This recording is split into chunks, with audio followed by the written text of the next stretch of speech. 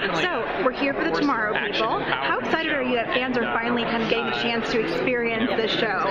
Very excited. You know, Greg's and my story about this show goes back to when I was eight years old and watching it on Nickelodeon um, that they'd imported from the BBC right when cable started. It was literally the advent of cable television, and I was sitting there being very, very, very excited about this new show. These runaway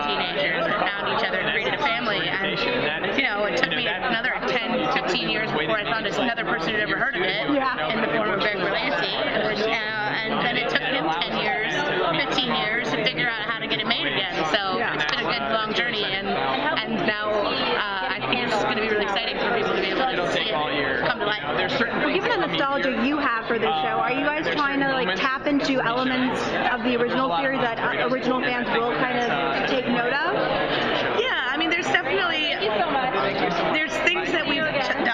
that we've made that are straight up. We wouldn't dare do it any differently than the original series, you know. Um, and then there's little Easter eggs throughout, you know, the name, the name of a character, which is, you know, that references to the original creator.